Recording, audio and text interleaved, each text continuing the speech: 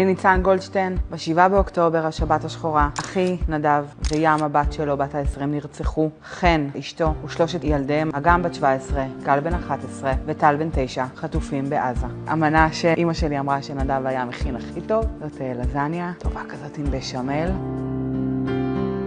נדב אחי, חוץ מזה שהוא היה בשלן ואיש חכם וחתך. היה גם איירון מן, לפני שנה בדיוק. ב-30 באוקטובר. הוא התחרה באיירון מן יוטה.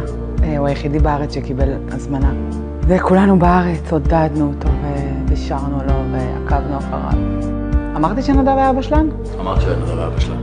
ליאב הקטן שלי אמר, אמא, אבל עכשיו כשנדב מת, מי יכין לי את הסטייקים הכי טעימים שאכלתי?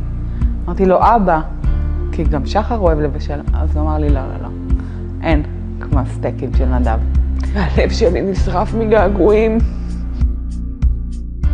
החזירו את החטופים שלנו הביתה.